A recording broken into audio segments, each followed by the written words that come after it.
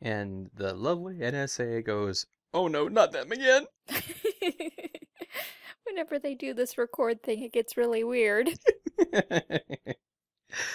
uh, hello, I'm Lux, And I'm Ember. and this is our thoughts on Cute High Earth Defense Club Love. Wow, you actually got it this time. Yay! uh, so would this be take two, part two, summary, finale? I, I would say this is our thoughts on the finale and what we thought about the show after watching it. All right. And if you haven't watched the series yet, go watch it. This will contain spoilers. If you've already watched the series but haven't listened to us blather on about it, go back and find our first recording. I'll put a link to it in the description and you'll probably see a little link to it on screen. Yay! Technology. This show was so enjoyable, especially these last two episodes where you're like, oh. especially the last episodes as a whole, you just suddenly get the reveal of, wait, wait, wait, this was a reality show the entire time? This explains so much. but but I was watching it, so I'm I'm part of the audience. Whoa, meta. Quite. Very meta.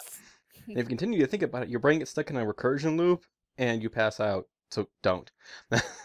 Yeah, the only thing that made me sad about that reveal is that it meant we wouldn't get more episodes. Well, there's plenty other mediums of this. They have a game. I don't know if they'll ever bring it over here. I just know it's out on Android and iPhone. There was the manga and the light novels, which I believe the light novels were the first iteration of this story. Okay, so we need the light novels translated and brought over here. And while the universe is listening to light novels I want translated, the Earl and the Fairy, please. I'm just glad the Melancholy of Suzumiya Haruhi series got translated. I got like three volumes of that I actually, well, two of them I actually need to read through. But back to Cute High. because there's no way you can say the name correctly twice. That, and every time I say it, I add an extra like minute to 30 seconds to the show. So, Good point. Internet attention spans are short. what? what? Exactly. oh, so why don't we start off with you? Uh, all right. So, very fun. You know, we have the usual thing of, oh, it's the school festival. What is our club going to do? Oh, let's do a restaurant. Let's sell curry. right now, I can only think of one other cartoon I've seen that in, but I'm sure there are others I've seen it in. And something always goes wrong. Mm-hmm. It's usually not a supervillain, though. And what a time for the blur to be off because now we can all identify each other. and Kinshiro's a real jerk. He sees that it's Epinard and he still tries to kill him. I I also like the fact that they were like, what is the theme for our curry restaurant? Oh, wait, we can transform. Cosplay superhero curry. And Uh. Yumoto was way too into handing out those flyers. I was afraid he was going to tap into his love power and jump to the top of the school roof. He was jumping rather high for an ordinary kid anyways for us to be able to see him over the crowd. Ah, that suddenly reminded me of another episode where he got his personality kind of got downplayed because of something, and everyone started liking him. And this one kid goes, "No, I'm supposed to be the one who's like doted upon." Yes, that would be the episode right before the two-part finale. Episode 10, Love is Glasses, where Yumoto gets a cold and somehow this changes his personality along with the wearing of glasses. and so he takes on the personality traits of the boy who first diagnosed him as being ill, you know, who is that, you know, underclassman that everyone wants to coach for them and, you know, everyone stands up for who gets turned into one of the creepiest monsters. He looks like a cross between a cat, a baseball, and a baseball bat. with glasses. And he keeps attacking while saying, I don't want to fight. I shouldn't have to fight. You're the one attacking. If you stopped, they would stop. You started it. Uh, would everyone just leave me alone? You keep hitting us. Why are we going to leave you alone when you keep hitting us? I don't think he knows how this works. but yeah, this show is just a hoot. All the characters, interactions. Uh, please continue with your thoughts. we've gotten so sidetracked. I love that, you know, this entire thing started over such a small thing. Just because Epinard wanted to go have curry one day after school instead of going to Arite's house. Mm-hmm. One time. He didn't invite you because he knows you don't like curry. Yes, that boy was very insecure. No kidding. But he might have been a little less insecure if, you know, Cerulean hadn't caught Epinard and kept him from tripping and they hadn't walked off together. Because now obviously he's being ditched for someone else. well, I guess that just shows how insecure he is that he can't just go up to them and go, wait for me or something. Or are you okay? You know, because your friend just, even though he was caught, you know, he's your friend, you should go up to him and still see if he's okay. Yes, but then you have to admit that you followed him. Eh, it leads to an awkward situation, but you can still, you know, like, oh, I saw, I was just walking by and I saw you trip and I wasn't able to catch you. Oh, and thank you for catching him. Can we be friends?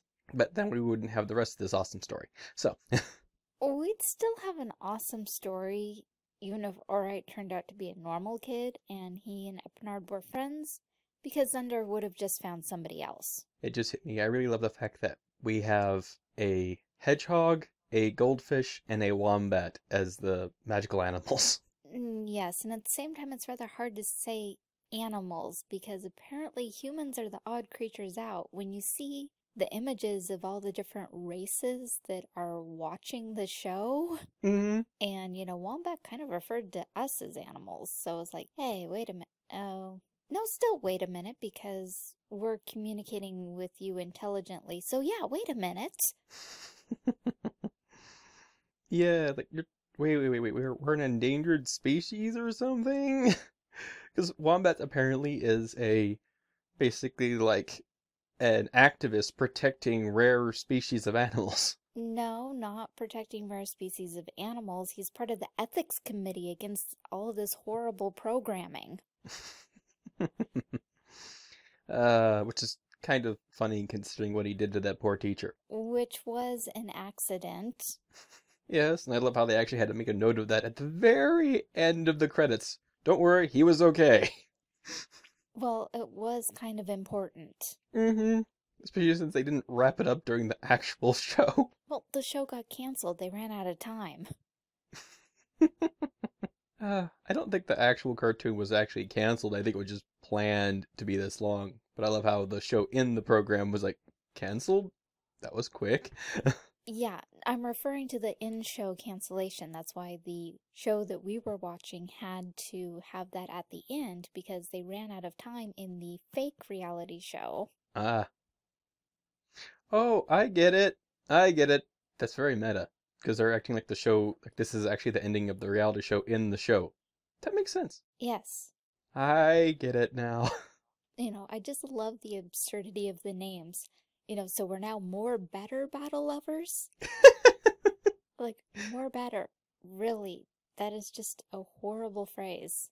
Yep, and we finally get our um giant robot in this series. Yes, porcupine fish. Mm-hmm. And I love the fact that even the bad guys now have the ultimate stage of their um transformations.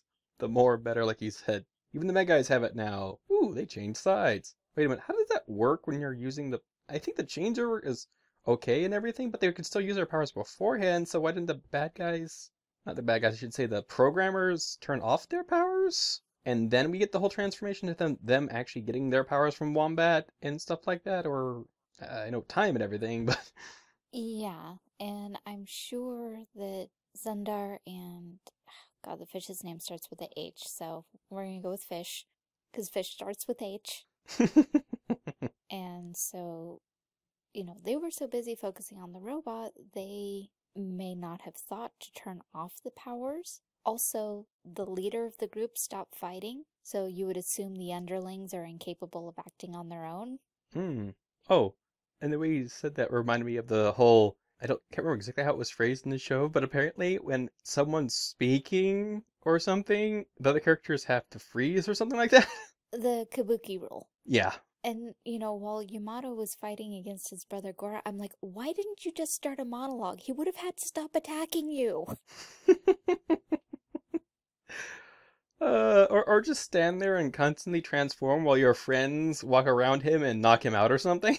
Well, there are exceptions to the transformation sequence uninterrupted rule.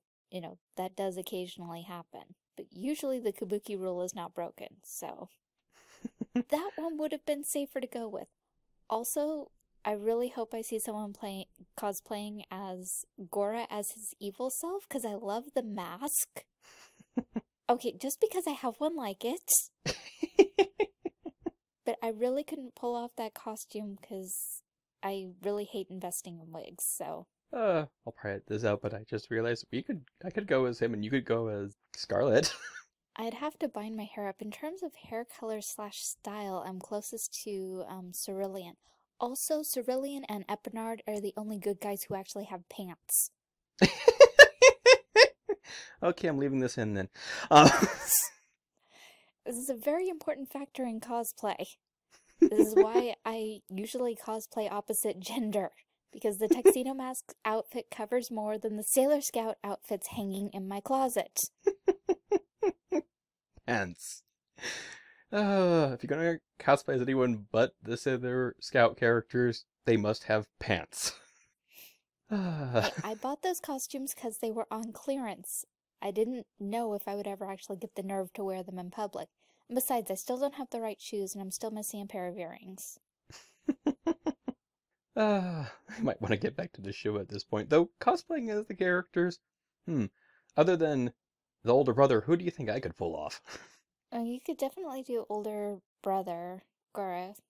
So you've got the height. I don't know, it'd be kind of fun to see you as Vesta. well, considering he's actually my favorite character in the show other than Scarlet, Mm-hmm. just something about him, I was like, I like him. I like you. I, I like him. Like, you've told me this. Well, I do. And I really liked his interactions with Sulfur, how they kind of did this thing where they may be gay, they may not be gay. It's questioning whether or not he actually is into girls. I know it was mostly done for probably fan service and jokes, but it was great. yeah, well, you know, each set of two friends you could infer those things from. You know, the same could be said about Cerulean and Epinard, though it wasn't stated quite so blatantly. And you notice when the good guys and the bad guys paired up, we had a team of eight, because the good guys had a team of five and the bad guys had a team of three. You know, eight is a very auspicious number. Hmm. Oh, and that's remind me of that great little scene where the two underlings on the bad side come over to the reporter and start like asking him questions, and suddenly the pink-haired one punches the guy. Yeah, which is really funny because it was Silver who was asking the questions, and you can see when they go to the wide angle, it looks like Silver was getting ready to punch the guy from Press Society Club, Mm, but Pearl went ahead and did it as the most junior member. mm. I'm the one who's supposed to get my hands dirty. Ah, so you think we're ready for our final thought? Oh, we should be because we went a lot more in depth in part one. So this is more about the finale, the meta-ness of the reveal, and the fun, over-the-top insanity that is Cute High Earth Defense Club love. It's kind of like Gurren Lagann. It just keeps going further and further, and it doesn't care. oh, I think it cared. It just cared not for the fact that you would normally try to hold things, because it was surprisingly well organized and serious, and it did the tropes well, but oh my god, it knew how far to take them and went, you know, we can probably go a little bit further.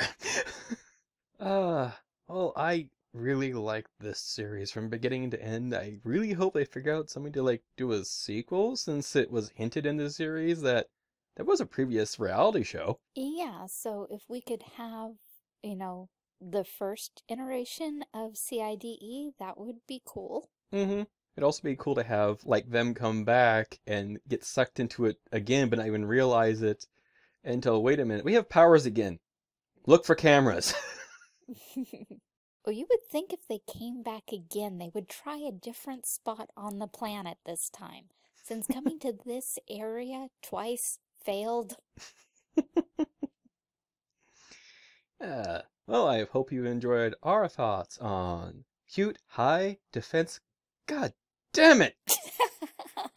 I knew you couldn't do it twice in one recording. Cute High Earth Defense Club Love. Hey, no fair reading off the screen.